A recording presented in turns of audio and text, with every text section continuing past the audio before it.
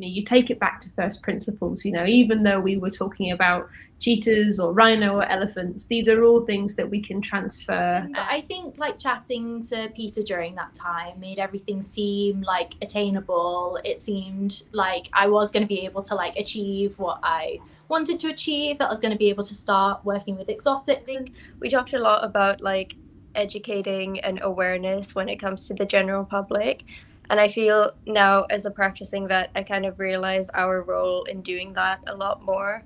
Even um, Wildlife Vet Online really kept me motivated and interested and inspired in the veterinary profession that we work in, and also just how difficult our course is.